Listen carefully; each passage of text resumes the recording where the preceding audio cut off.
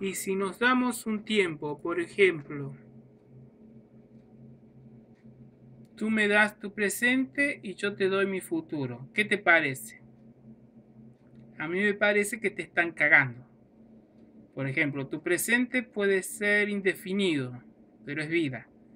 Y si el futuro que te quiere trucar es muerte, entonces hay mal negocio ahí. No es claro el negocio. Y si nos damos un tiempo, por ejemplo, tú me das tu presente y yo te doy mi futuro, ¿qué te parece?